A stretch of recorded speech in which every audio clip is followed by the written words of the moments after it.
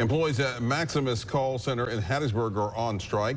The firm handles questions about medical billing and expense services, but today, about 100 of their employees protested in Hattiesburg.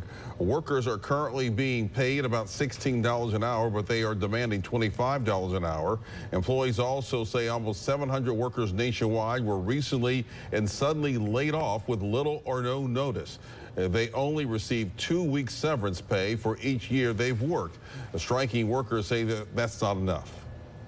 You have workers who are supporting the family, supporting kids, supporting the elderly, their parents, and having a sense of job security, a sense of having your paycheck be there on time is a requirement.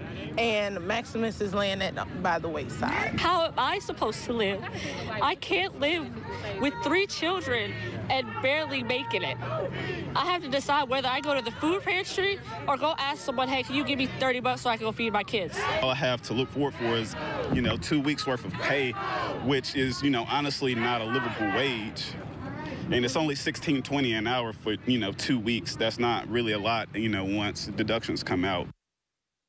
The Communications Workers of America is suing, alleging that Maximus laid off workers in retaliation for speaking out. The company denies those claims and says it welcomes the opportunity to speak directly with employees.